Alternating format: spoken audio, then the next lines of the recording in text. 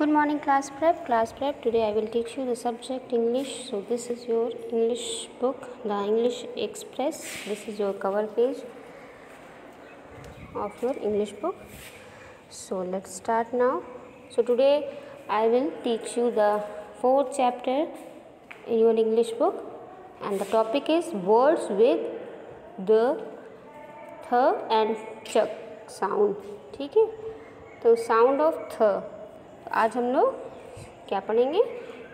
Sound of थ ठीक है? तो T H I R T Y thirty T H R E A D thread T H U M B thumb T double E T H teeth E A R T H earth C L O T H cloth so देखिए children यहाँ पर सभी words के पहले T H यानी sound निकल रहा है। तो ये हमारे कौन से वर्ड हो गए? थ वर्ड्स वाले साउंड्स था साउंड्स वाले वर्ड्स हो गए।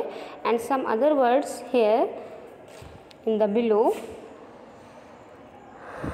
this that thick think think think third thrill three through thin thorn thirst thank path these there तो इन सभी में साउंड कौन सा निकल रहा है? थ।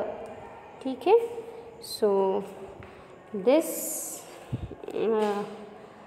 words read again at home and